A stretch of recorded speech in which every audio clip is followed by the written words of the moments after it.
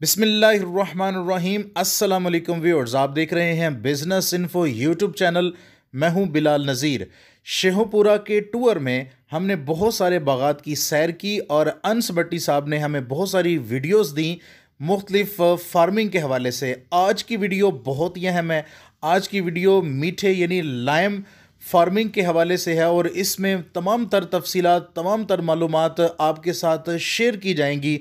तो नाजरीन, आज की वीडियो आप सब के लिए बहुत ही अहम है, क्योंकि ये बहुत ही मुनफरद और थोड़ी हट के वीडियो है। तो आज की वीडियो को ज़रूर एंड तक देखिएगा और कमेंट बॉक्स में बताइएगा आपको वीडियो कैसी लगी। आज हम मीठे के बाग में मौजूद हैं। यहाँ पर लाइम फ़ार्मिंग के हवाले से अंस भट्टी का एक तफसीली इंटरव्यू आपके साथ शेयर करने जा रहे हैं। तो इस चैनल को सब्सक्राइब कीजिए लाइक कीजिए तो आइए आपकी मुलाकात करवाते हैं। अस्सलाम वालेकुम। जी वालेकुम सर कैसे हैं? जी अलहमदिल्ला मैं ठीक हूँ। फिर से नाम? मेरा नाम अंस भट्टी है ज़िला शेखुपुरा मेरा और शहर माना वाला अबाई गाँव वाड़ा मेरा जी। स्वीट लाइन फ़ार्मिंग यानी मीठे की फ़ार्मिंग कब से कर रहे हैं? जी मीठे की फ़ार्मिंग करते हुए बिल्कुल ग्रे फ्रूट के साथ ही मैंने शुरू की थी। इसको भी मेरे चार साल हो गए तकरीबन दो साल के पौधे आपके सामने हैं जी। अच्छा इसको अगर ग्रे फ्रूट के साथ कंपेयर करवाया जाए तो किससे ज़्यादा नंबर देंगे? जी बिल्कुल दोनों सेम है अलहमदिल्ला अच्छा बताइएगा ये कितने रकबे पे आपने काश्त किया हुआ है? ये जो अ, मीठा मीठा मैंने काश किया तकरीबन चार एकड़ काश किया। चार एकड़? और मीठे का ख्याल भी कहाँ से आया? मीठे का ख्याल भी यही सोशल मीडिया को यूज़ करते हुए और मुख्तलिफ़ बागात विज़िट किए और इसी तरह मुझे ख्याल आया मैंने सोचा कि ये प्रॉफिटेबल है इसको लगाना चाहिए। जी। अच्छा ये कितने साल हो गए आपको ये पौधे लगाए हुए? तकरीबन ये पौधे जो हैं अभी दो साल हुए हैं इनको लगाए हुए। तो इस पेशे से मुंसलिक जो हूँ इसके हवाले से जो मैं तकरीबन चार साल से ठीक हो गया। अच्छा ये बताइएगा इस पर आपका कितना खर्चा है टोटल ये सारा बाग लगाने का? इसका जो मीठे मीठे का जो तकरीबन चार एकड़ बनते हैं चार एकड़ का जो मेरा फर्स्टली जो खर्चा आया तकरीबन सत्तर से अस्सी हज़ार के राउंड अबाउट था। तो उसके बाद ये आस्ता आस्ता इसके खर्चे चलते रहते हैं यानी इसके ज़्यादा खर्चा नहीं है बस थोड़ा बहुत है तीन चार गोडियाँ करवानी पड़ती हैं साल के अंदर।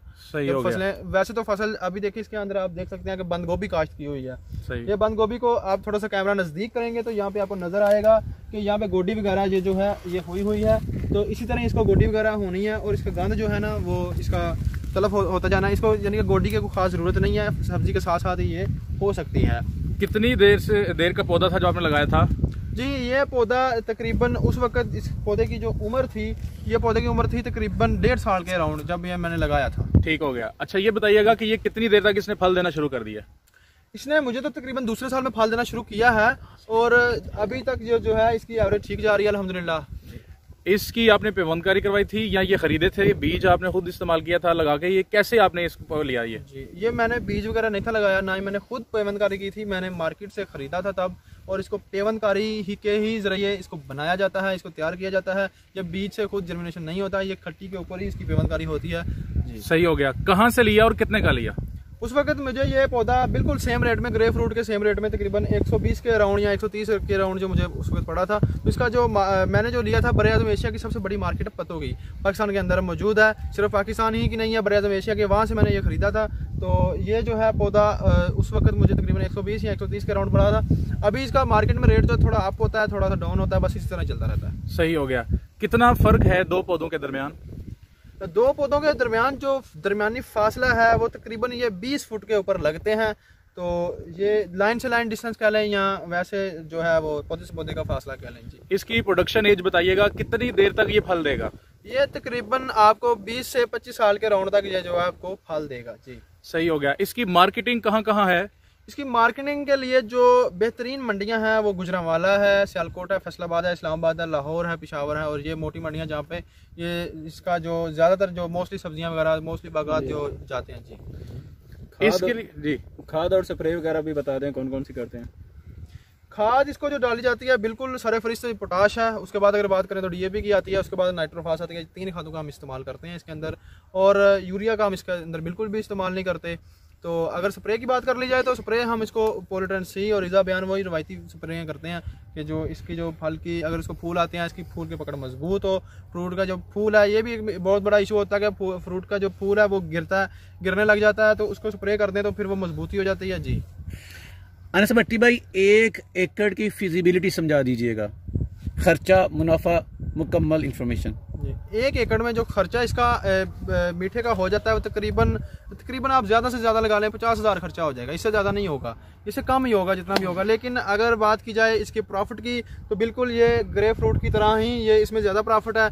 उसमें जो कम से कम एकड़, डेढ़ लाख का जो प्रॉफिट आ जाता है, कम से कम जो प्रॉफिट आता है, और जो मैक्सिमम तकरीबन तीन लाख तक जाता है। बिलतरतीब डिपेंड करता है आपके पौधों के साइज़ पे, फ्रूट की सेहत के ऊपर। जी। मीठे के बारे में शिकायत की जाती है कि इस पे फ्रूट की जो मकदार है, बड़ी कम होती है।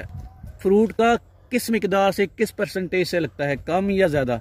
क्या कहेंगे? जी इसमें मैं तो कहूँगा कि ज़िम्मेदार के थोड़ी सी थोड़ा सा अवेयरनेस नहीं है, ज़िम्मेदार थोड़ा सा पीछे हैं। इनको जो है वो सोशल मीडिया इस्तेमाल करना चाहिए ताकि इनको पता चल सके। मज़ीद जो है, अपने जो अच्छे जो दवाई वगैरह सेल करते हैं, जो कंपनियाँ उनसे रब्ता करना चाहिए कि इसके बारे में हमें थोड़ा सा अपडेट करें। वैसे तो इसकी अगर इसको प्रॉपर स्प्रे होती रहे और इसको अच्छी तरह इसको खाद वगैरह फर्टिलाइज़र वगैरह जो इसको फ्लड करते रहें तो इसमें कोई नो डाउट कि ये इसका फ्रूट बहुत हेल्दी होता है। लेकिन डिफरेंस ये है कि इसके अंदर यूरिया खाद ना डालें, इसके अंदर नमक ना डालें, ये दोनों चीज़ें इनकी मोटेलिटी करती हैं। वक्ती तौर ये आपका फ्रूट बढ़ाएँगी, उसके बाद आपके फ्रूट को, आपके पौधों को ख़त्म कर देंगी। जी। इसकी देखभाल के लिए कोई स्पेशल लेबर रखनी पड़ेगी या खुद ही आप मैनेज कर सकते हैं? जी बिल्कुल इजी वे है ये खुद ही आप मैनेज कर सकते हैं इसके लिए कोई लेबर रिक्वायर्ड नहीं है कोई किसी किस्म का मसला नहीं है ये बिल्कुल आम आम बस इसको लगा दिया आपने लगा के बाद छोड़ दें अच्छा ये बताइएगा कि इसके दरमियान भी आप सब्ज़ी लगाने को प्रेफर देंगे या इसके दरमियान को फ़सल लगाने को प्रेफर देंगे? देखिए सर सब्ज़ी जो है वहाँ पे सब्ज़ी को तरह तरह की खादें और डेली बेसिस पे तकरीबन आप समझ लें कि हफ्तावार की बुनियाद पे सब्ज़ी को पानी लगेगा साथ ही मजबूरन उनको खाद फ्लाट करनी पड़ेगी। जब खाद फ्लड करेंगे सब्ज़ी के साथ ऑटोमेटिकली जो जो खेलियाँ हैं वो पौधों और सब्ज़ी के दरमियान में आएँगी। तो जितनी खुराक सब्ज़ी को लगेगी सेम टू सेम उतनी खुराक जो है वो पौधों को भी लगेगी। अक्सर ऐसे जो पौधे होते हैं उनके पत्ते भी मज़ेदार होते हैं उनको कीड़ा लग जाता है और वो उतरता नहीं। उसके लिए कोई एहतियाती तदाबीर? उसके लिए एहतियाती तदबीर जो यही है कि इनको जो है वो स्प्रे वगैरह लेके आएँ जो रिकमेंड करते हैं महकमा जात जो स्प्रे वाले हैं तो वो इन, इनको करें तो इनके जो है वो ताकि जो कीड़े मकोड़े हैं इनको तलफ किया जा सके। महकमा लाइफ स्टॉक और ये पाकिस्तान के जो महकमा है वो किस तरह आपकी हेल्प करते हैं इन हवालों से? जब आप इस तरह के फ़ार्मिंग करते हैं तो कैसी हेल्प होती है? गवर्नमेंट की तरफ़ से आपको कोई सपोर्ट मिलती है? नहीं फ़िलहाल तो गवर्नमेंट की तरफ़ से कोई सपोर्ट नहीं मिल रही फ़िलहाल जो चल रहा है। लेकिन जिनके साथ जो मशवरा वगैरह करते हैं वो पूरा तावन करते हैं जो वो पूरा प्रॉपर गाइडेंस देते हैं। कुछ पहले भी इन्फॉर्मेशन है कुछ सोशल मीडिया से लेते हैं हम इन्फॉर्मेशन कुछ जो है महकमा लाइफ से लेते हैं जो अद्वियात वगैरह ये वो डील करते हैं। आपने सोशल मीडिया का बहुत नाम लिया और बड़ी इन्फॉर्मेशन आपने ली। कौन कौन सी अहम बातें मीठे के हवाले से आपने सीखी सोशल मीडिया से? जी मीठे को मैं समझता हूँ कि मीठे को शुरू होने से लेकर एंड तक मैंने ये सोशल मीडिया से ही समझ लें एटी परसेंट मैंने सोशल मीडिया से ही ये सब कुछ सीखा है। और उसके सीखने के बाद आप इसमें कामयाबी हुए? जी बिल्कुल। उसको सीखने के बाद मैंने फिर आ, अपने अंदर एक जज्बा पैदा किया कि मुझे ये लगाना चाहिए ये करना चाहिए और मैं अलहमदिल्ला प्रैक्टिकल लाइफ में हूँ मैं अलहमदिल्ला इसमें कामयाब जा रहा हूँ। किस तरह मैनेज करते हैं इस सारी मल्टी फ़ार्मिंग को? आप बहुत सारी फ़ार्मिंग कर रहे हैं कैसे मैनेज कर पाते हैं अकेले? आपके साथ भी कोई है कोई मैनेजर है? असल में होता यूँ है जैसे ही मेरा बाग तैयार होता है मैं उसी वक्त उसके इसमें यह डिफरेंस है अगर मैं इसको खुद मैनेजमेंट करूँगा खुद इस पर लेबर लगाऊँगा खुद इसका सारा कंट्रोल करूँगा तो फिर ये मेरे लिए थोड़ा सा डिफ़िकल्ट हो जाएगा। यकीन मुझे एक बंदा भी रखना पड़ेगा अपने पार्टनर एज ए असिस्टेंट समझ लें। लेकिन मैं ये चाहता हूँ कि मैं इसमें यह तरीकाकार करता हूँ कि मैं जो बाग मेरा तैयार हो जाता है मैं उसको सेल कर देता हूँ। और सेल करके वो नगद ही जो पैसे वगैरह वो वसूल कर लेता हूँ। ये मेरे लिए एक आसान वे है और मैं इस पर जो है वो फोकस पूरा करता हूँ। हफ्तावार मैंने हफ़्ते की बुनियाद पे मैंने अपने सारे बाग का विज़िट करना होता है। विज़िट करके जो भी कमियाँ कुताइयाँ होती हैं मैं उसको ठेकेदार को बता देता हूँ। वो उसको कवर अप कर लेता जी। सवाल ज़रा हट के है। आपकी उम्र पूछ सकता हूँ? जी मेरी जो उम्र है अभी जो है वो तेईस साल है तकरीबन। तेईस साल में इतनी ज़्यादा मल्टी फ़ार्मिंग क्या ये इस कामयाबी का राज बताना चाहेंगे? जी, इस कामयाबी का राज ये है कि जो तब मैं छोटा ही था तो मेरे वाल साहब इस दुनिया फानी से कूच कर गए थे। तो मैंने, मेरे पास अलहमदिल्ला अल्लाह का शुक्र ज़मीन वगैरह थी, मेरे वाल साहब ने मेरे लिए जो बनाई थी तो वो अल्लाह का खास करम था। लेकिन मैं जो था, मैंने उधर से फिर मैंने एक स्टैंड लिया, मैंने कहा, यार, मैं ऐसे लोगों में बैठने लगा जो बिज़नेस करते थे, जो अपना आप बिज़नेस करते थे। कई बाद लोग बाद दोस्त मेरे ऐसे हैं जिनका मुर्गी फार्म है बाद लोग मेरे ऐसे हैं जो दोस्त हैं जो, जिनका फ़िश फार्म है। मैं इस तरह के लोगों में बैठना शुरू कर कर दिया था।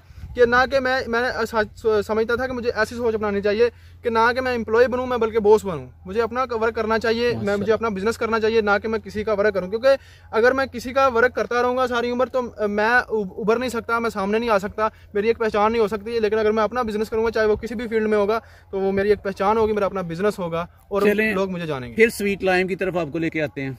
आप माशाल्लाह कमिटेड हैं अल्लाह ताला आपको कामयाब करे।